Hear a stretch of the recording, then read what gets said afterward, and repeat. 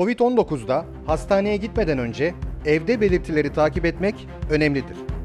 Özellikle yüksek ateş takibi doğru yapılmalı. Bir termometre kullanmak basit bir işlemdir.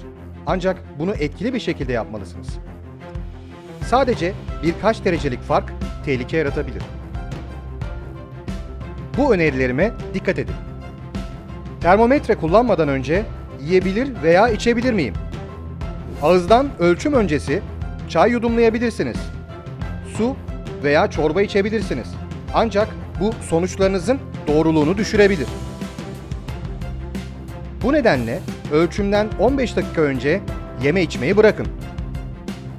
Ölçümü nasıl yapmalıyım? Cihaz 3 dakika boyunca veya varsa kendine ait olan uyarı sesi çıkarana kadar kalmalı. Termometreyi nasıl temizlerim? Bir miktar alkolle ovup kurumaya bırakın. Ortak kullanabilir miyim? Ortak kullanımı önermiyoruz. Herkesin kendi ateş ölçeri olmalı.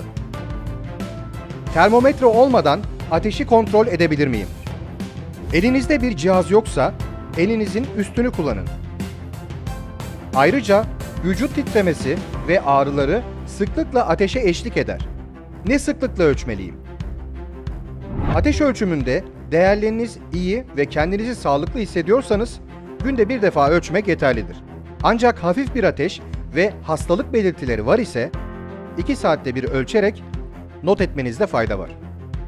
Ateş kaç gün sürmeli? 72 saat boyunca süren yüksek ateş tehlikelidir.